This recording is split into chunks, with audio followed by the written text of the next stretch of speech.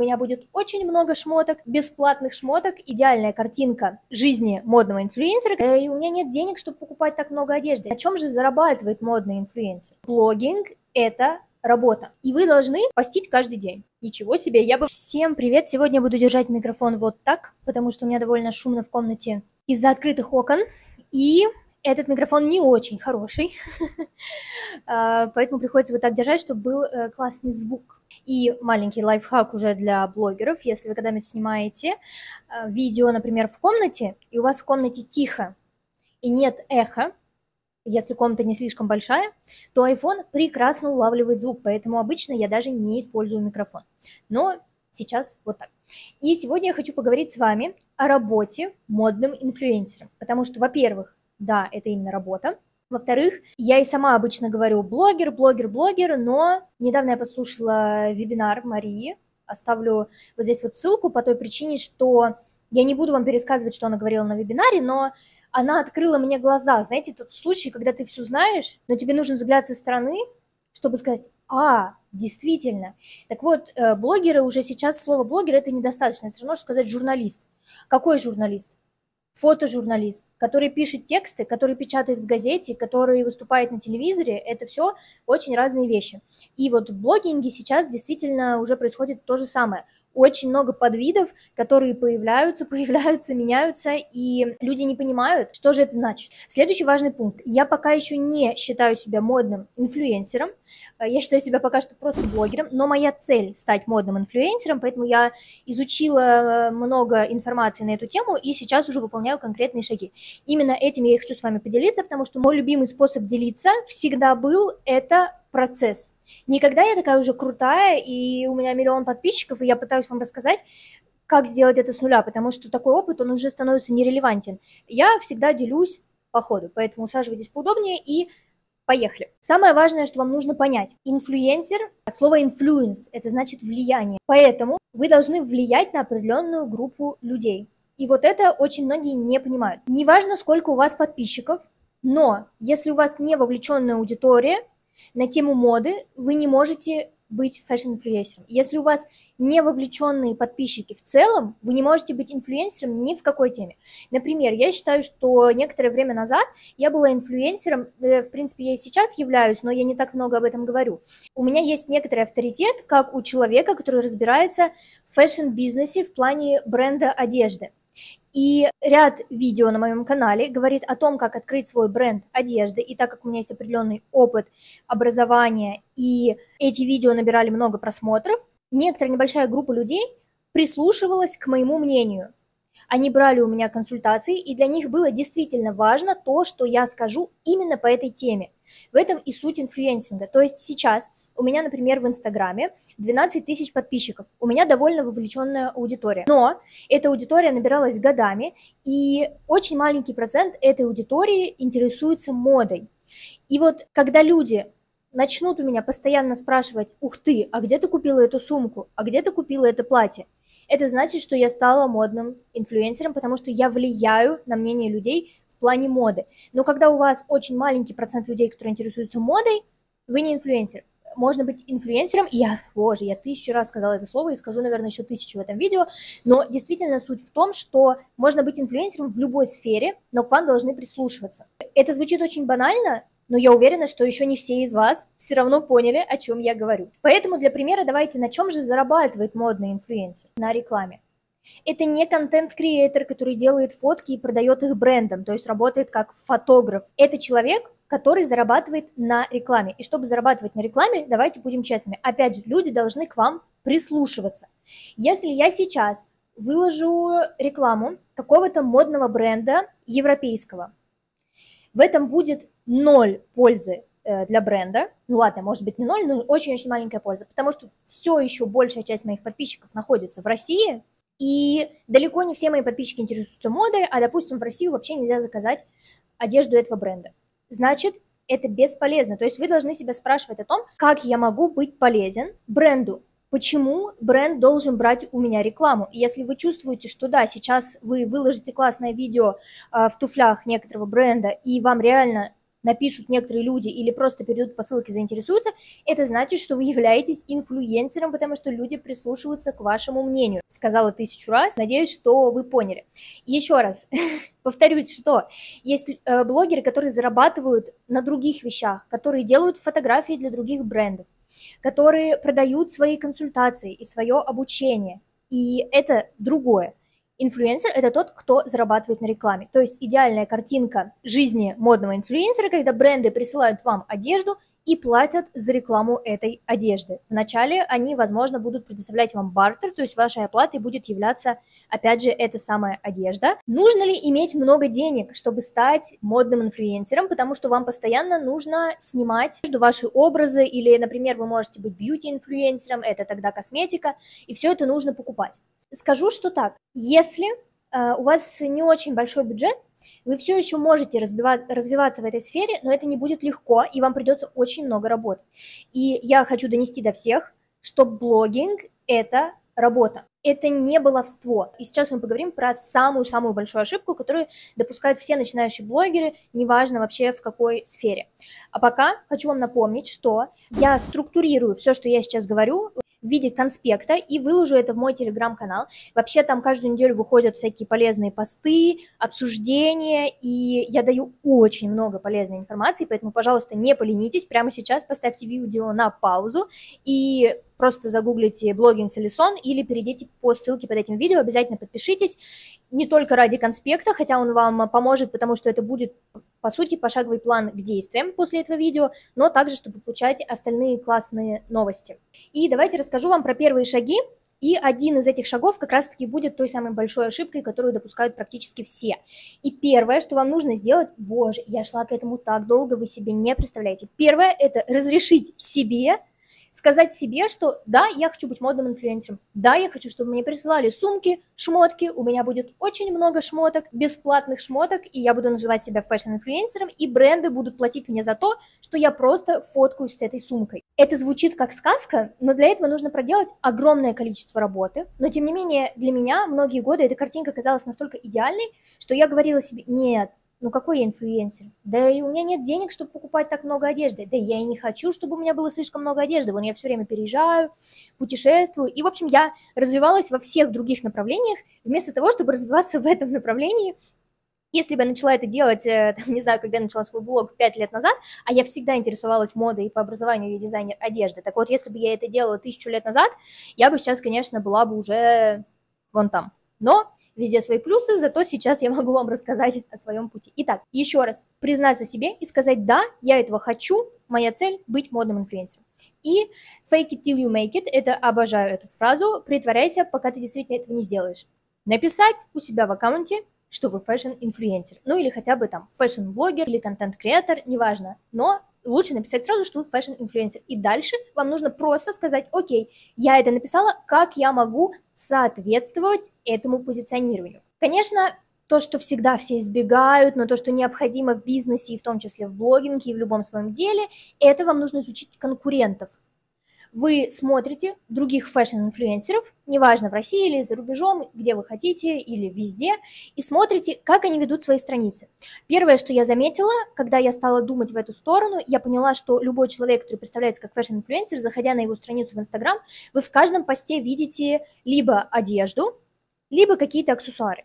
Как правило, фэшн-инфлюенсеры не постят красивые виды, чашечки кофе и так далее и тому подобное, потому что каждый пост должен соответствовать и визуально, и по смыслу теме вашего блога, если вы действительно хотите расти и развиваться. Это то, что вы 100% увидите, но также вам нужно посмотреть на других людей, чтобы понять, какие типы контента они постят, взять какие-то идеи, не значит в точности повторить, но хотя бы понять, потому что вот если мы говорим про фэшн-видео, на самом деле есть определенные виды этих видео. Есть то, что я называю одевашками, когда вы одеваетесь и снимаете процесс, то, что я сейчас много снимаю, потому что для меня это просто и комфортно, мне нравится это снимать, и это не требует от меня слишком больших усилий, что важно. А, есть fit check и, очень популярная в Европе история, в ТикТоке популярная история, когда девочка просто не одевает, а просто показывает уже готовый аутфит, например, где-то на улице, показывает детали. Также это может быть э, стрит-стайл, это снятое, опять же, на улице видео, где девушка может совершать какие-то действия, пить кофе, я не знаю, красить губы, перебегать улицу, но чем больше вы проявите фантазию, тем, конечно, это будет круче выглядеть. Есть блогерша, я не очень ее люблю, я на нее не подписана, но в том плане, что это не мой стиль, опять же, да, вы должны понимать, что ваш стиль, но которая снимает, я постараюсь вам найти, оставить здесь ссылку, чтобы вы поняли, которая снимает, у нее очень мощный монтаж, то есть там под каждое видео человек конкретно заморачивается, но это ее узнаваемость, это ее фишка, и она тоже таким образом снимает луки, платья, и, конечно же, к ней идет очень много брендов на сотрудничество. В общем, вам нужно выбрать стиль, в котором вы хотели бы постить и для чего у вас есть сейчас возможность. Если вы, например, понимаете, что вы живете в таком городе, где стрит-стайл будет выглядеть не очень, значит, снимайте дома. Если, наоборот, вы понимаете, что квартира у вас не очень фотогеничная и вам не нравится, как это выглядит, хотя, в принципе, найти и создать уголок для вертикального видео не очень сложно, может быть, вы живете при этом в красивом городе, снимайте стрит-стайлы, то есть найдите то, что вам снимать комфортно, и начинайте снимать с тем, что у вас есть. Еще про деньги, да, то, что нужна одежда. Это вроде бы просто, ну не, до, ну не все готовы, да, нужно просто сказать, окей, мне нужна одежда, чтобы снимать видео, что я могу сделать? Дешевые какие-то сайты, сейчас на Wildberries очень много всего, и какие-то аксессуары не видно на видео, дорогие они или дешевые. Вы можете брать какую-то одежду и обувь у подруг, причем это не обязательно должен быть прям идеально ваш размер. На фото никто не увидит, да, если вы там закололи где-то кофточку или надели туфли на два размера больше, ну, туфли, наверное, увидят, но сапоги не увидят. И что на самом деле очень многие стилисты и фэшн-инфлюенсеры делали в начале своей карьеры. Я так не делала, потому что для этого слишком лениво.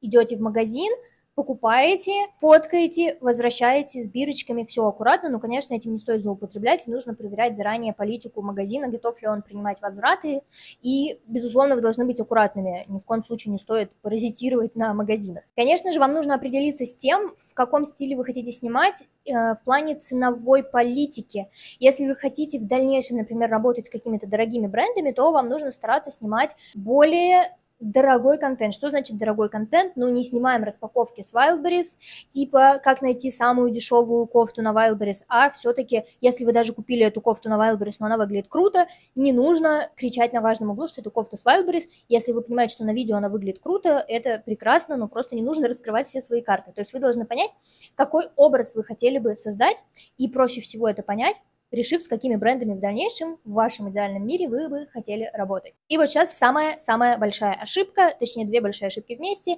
это вы должны оформить свою страницу ТикТоке, в Инстаграме, в Ютубе, но на Инстаграме проще всего объяснить, потому что с остальными соцсетями проще, потому что в Инстаграме у вас есть и закрепленные сторис, и шапка профиля, и аватарка, и видео. Если мы говорим про ТикТок или Ютуб, да, там тоже есть шапка профиля, но она меньше, и нет закрепленных сторис, но в любом случае, говорю на примере Инстаграма, потому что если вы оформили Инстаграм, вы можете повторить это все, и даже это будет легче и быстрее в других соцсетях. Итак, человек, который заходит на вашу страницу, должен сразу же в первую же секунду сказать «она про моду». Если он не может этого сказать, значит вы что-то сделали не так. Если вы, например, говорите в шапке профиля «я fashion-инфлюенсер», и дальше у вас закрепленные сторис с вашей э, собакой и с путешествий, и там ничего нет про моду, а на фотках у вас, как я уже сказала, там круассанчики, чашечки кофе, виды какие-то и что-то еще, вы недостаточно хорошо поработали. Еще раз заходите на страницы других fashion-инфлюенсеров и анализируете. А, маленькая сносочка, то, что, конечно, бывает, что очень крупные люди, которых вы находите, блогеры, инфлюенсеры, они уже постят все подряд, но нужно сказать себе, окей, она уже достигла той цифры, например, там 500 тысяч подписчиков, и она может себе уже позволить какие-то послабления. Вы не она, вы еще пока не достигли никакой цифры или не достигли желаемой цифры, если вы смотрите это видео, значит, вы должны сделать так, чтобы каждый, кто заходит на вашу страницу, сразу понимал, о чем вы. Для этого у вас должна быть соответствующая аватарка, соответствующая жирная строка, соответствующее описание, соответствующие закрепленные истории, соответствующие фотографии и соответствующие рилсы. Да, все вместе. И следующее, то же самое, что люди допускают ошибку, когда мы находимся как бы внутри нашего блога, нам кажется, что мы да как будто бы часто постим, и как будто бы много снимаем, да и вообще, если я буду постить каждый день, мои подписчики выбесятся, кому вообще это надо. Это не так. И люди как говорит моя подруга, э, Настя тоже блогер, да, люди-рыбки, это так и есть. Вам нужно человеку очень много раз напомнить, и он не будет смотреть и рассматривать каждую вашу фото. Некоторые люди не каждый день заходят в Инстаграм, или они просто пролистывают ленту, или они не смотрят сторис, и вы должны постить каждый день. Ну, по-хорошему, если вы действительно хотите расти и чего-то добиваться, каждый день либо Reels, либо фотография у вас должна быть. Тогда ваш аккаунт наполнится и будет действительно выглядеть так, как он должен выглядеть. То есть вы должны очень много работать. И если пока вы не совсем понимаете, какой вы хотите стиль, какие вы хотите делать видео, то, опять же, очень частый постинг вам поможет, потому что чем больше вы тренируетесь, тем лучше вы видите ракурсы, тем больше вы понимаете, что собирает хорошие реакции, вы больше понимаете, что вам проще снимать, и что нравится аудитории, что нравится вам, что больше напоминает ваш стиль. И таким образом методом проб, ошибок и тренировок вы достигнете более красивого визуала и результата, чем вы будете сидеть и думать так. Ну я не знаю, я не знаю, какой у меня стиль, я не знаю, что снимать, подумаю я еще неделю, подумаю еще две недели. Не надо так делать, пожалуйста. Просто берите и снимайте прямо сейчас. Ну и, пожалуй, последнее, что сегодня мне хотелось бы вам сказать, это что вам придется делать на этой работе. Да, как я уже сказала, это работа, и если вы думаете, что получать в подарок от брендов одежду или аксессуары или косметику и просто это вот так вот сфоткать, это все легко? Нет, это не так. Во-первых, вы должны освоить деловое общение с брендами, потому что, чтобы с ними договориться, вы должны уметь продать себя, и про это я поговорю отдельно, может быть, напишу пост в моем телеграм-канале, поэтому еще один повод подписаться. Э, вы должны вести деловую переписку, и переписки будет много, потому что особенно в начале из 10, 20 или даже 50 брендов только один будет готов вам что-то прислать. К этому нужно привыкнуть. И дальше, когда вы будете на классном уровне, будет наоборот. Много брендов будут вам писать, но вы не сможете взять их все. Вам придется выбирать что-то подходящее под ваш стиль. Опять же, вести деловую переписку. Это требует времени и определенных навыков. И дальше, конечно же, вам нужно будет снять э, контент, да, потому что даже если это реклама в вашем блоге и все это в вашем стиле, здесь есть определенные дедлайны, потому что я работала с брендами до того, как они ушли из России. Э, я работала больше с бьюти-брендами, и там, например, Ланком присылал мне сыворотку, которую потом я загуглила, она стоила на тот момент еще давно 12 тысяч рублей. Я такая думаю, ох, ничего себе. Я бы, в общем, Джо Малоны мне присылали и так далее. Келс, кстати, с тех пор я вообще про него не знала, про этот бренд особо, но я влюбилась в него после того, как они мне присылали свою продукцию. Вам нужно отснимать для них контент. И для этого вам нужна определенная дисциплинированность. Вы должны придумать креатив, как вы отснимете. Вы должны сделать это в хорошем качестве, в определенный день. Вы должны это смонтировать, вы должны это предоставить бренду или выложить в ваш аккаунт э, тогда, когда вы договорились. И это занимает определенное количество времени. Это не так легко, как вы думаете. В любом случае нужно будет делать фото, либо вам нужно будет человек, который вам в этом помогает. При этом вы еще будете являться моделью, потому что любой инфлюенсер все показывает на себе. При этом вам нужно да, вести деловую переписку до тех пор, пока вы наймете, например, помощницу, хотя даже не все их, наверное, нанимают, э, не знаю, у меня есть помощница, например, которая занимается монтажом, потому что монтаж – это тоже огромный рабочий процесс, на который нужно время и нужны силы. Поэтому просто понимайте это, прежде чем вы решите, что да, я буду, у меня все будет вообще волшебно, я буду лежать на диванчике, и мне будут присылать красивые сумочки. Нет. Это же относится, вообще все, что мы сегодня проговорили, относится к любому типу блогинга. Хорошие новости, что когда у вас уже есть какой-то блог на определенную тему, как у меня, вы можете его, как сказать, переформатировать э, в новую тематику, это будет уже легче, потому что это идет, я думаю, даже из бизнеса. И поэтому я начала так все четко структурировать, потому что блог это все равно в какой-то степени ваше дело, ваш бизнес. И для любого типа блогинга вам нужно понимать, вашу стратегию. Раньше я ненавидела это слово, потом я поняла, что это то, что каждому нужно, и это великолепно, когда у вас есть стратегия. Вам нужно понимать э, тактику. Да-да, у нас все как на войне. И вы должны осознать, что вам нужно это понимать. И поэтому существует мой телеграм-канал, где я много говорю про это, и я вам очень советую перейти и почитать, потому что если вы в голове у себя по полочкам разложите, и начнете предпринимать конкретные шаги, и у вас будет четкое видение того, что вы хотите получить в результате, вы начнете развиваться намного-намного быстрее, чем с кашей в голове. Я вам говорю, это человек, у которого по поводу блогинга много лет была каша в голове, пока я все это не стала изучать более глубоко. И я планирую вместе с моей подругой Настей, которая больше по визуалу, и она помогает людям создавать контент, то есть еще находится за камерой, и это отдельный тип блогинга, про который мы сегодня не будем говорить, но она очень э, классно объясняет людям, как делать красивые кадры, то, что тоже, безусловно, вам понадобится, если у вас нет большого опыта э, делать фото, кого-то, если новичок в этом плане, мы планируем в октябре сделать маленькое обучение, чтобы закрыть те вопросы, которые нам постоянно задают э, люди, которые хотят свой блог, в том числе стать fashion-инфлюенсером или развиваться в других типах блогинга, или если вы еще не знаете, какой тип блогинга вам хотелось бы освоить, но вы понимаете, что вам нравится это направление, то как раз-таки для этого мы создадим буквально э, трех- или пятидневный мини-курс, поэтому подписывайтесь на этот мой канал, чтобы узнать подробнее про даты. Я думаю, что это будет примерно 14 октября. И, опять же, конечно же, я анонсирую все это очень подробно в моем телеграм-канале. Спасибо большое, что вы смотрели это видео. Задавайте ваши вопросы под этим видео. Если они будут краткие, то я отвечу под видео. Если будет много вопросов э, и я что-то забыла, не осветила в этом видео, то, конечно же, я сниму еще одно видео. Ну и вообще в ближайшие месяцы будет несколько интересных видео про блогинг, поэтому подписывайтесь, не пропускайте и увидимся с вами. Пока-пока!